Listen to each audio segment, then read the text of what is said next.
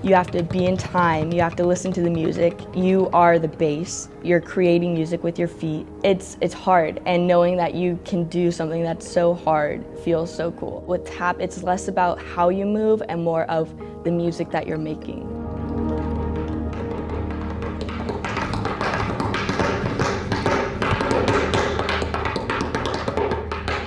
I would argue it's like one of the most intense sports, like mentally and physically. You're dancing in front of a mirror, like you're looking at yourself, and all you're doing is looking in the mirror, kind of tearing yourself apart. Like, what can I do better? What can I do to improve? What looks weird? Like, all this stuff. And it's just, it's really easy to focus on the negative and focus on what needs work and what needs perfecting.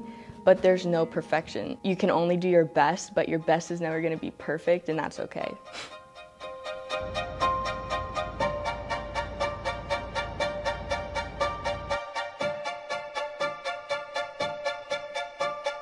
You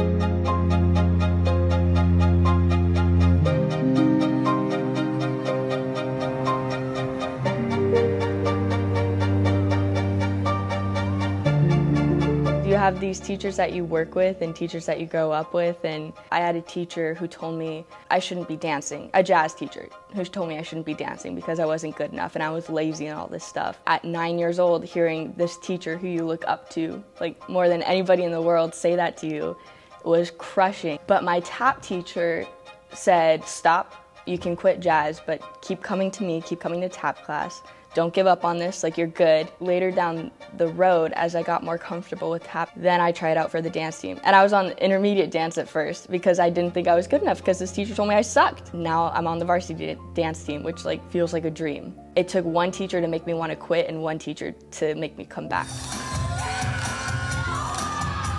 There's something that's so exhilarating too when you're out on the stage, like performing and doing what you love. It's like it's an out of body experience. When you do achieve like that one step uh, that you've been working on for months, or you get like that set of turns and you you achieve something that you felt was unimaginable when you first learned it, like that is the best feeling in the world.